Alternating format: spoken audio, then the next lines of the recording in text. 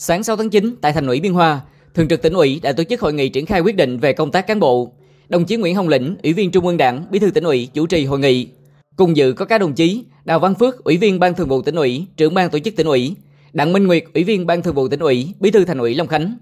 Tại hội nghị, trưởng ban tổ chức tỉnh ủy Đào Văn Phước đã công bố quyết định của Ban Thường vụ tỉnh ủy về việc điều động đồng chí Hồ Văn Nam, tỉnh ủy viên, Bí thư Thành ủy, Chủ tịch Hội đồng nhân dân thành phố Long Khánh đến nhận công tác tại Thành ủy Biên Hòa chỉ định đồng chí Hồ Văn Nam tham gia ban chấp hành đảng bộ, ban thường vụ thành ủy và giữ chức bí thư thành ủy Biên Hòa nhiệm kỳ 2020-2025 kể từ ngày 1 tháng 9 năm 2023.